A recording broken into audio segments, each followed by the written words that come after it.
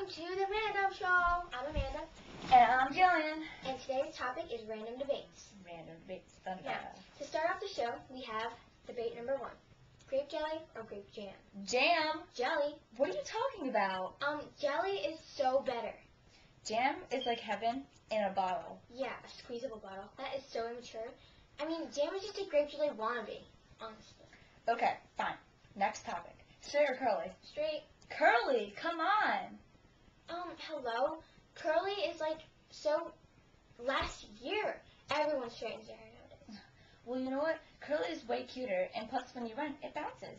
You know, it only does it because you put so many harmful products in your hair. They were all tested on animals too.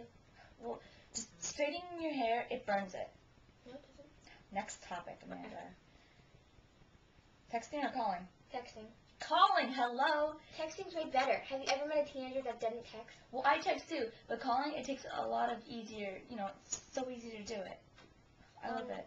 Texting is so like much fun though. You could be texting at 12 o'clock at night and no one will even know that you're talking to someone. I mean, like honestly. I don't get you. It's just that it's so easier to call because it doesn't take as much time as texting. You know what? Plus with texting, you can put a whole bunch of fun habits on. Yeah. You're so immature, Amanda. What if you're talking just calling? Next topic. Blondes or brunettes? Totally pronounced. Blondes. Are you? I just can't take you anymore. You know what? How do you kill a blonde? How? Tape a mirror to the bottom of the pool and watch them drown. You are mature, Amanda. Listen, have you ever heard of a beach blonde? They get all the boys. Yeah, when they're not drowning in a pool. How do you wipe out a blonde's memory? How? Blow in their ear. Ugh, Amanda! Stop it.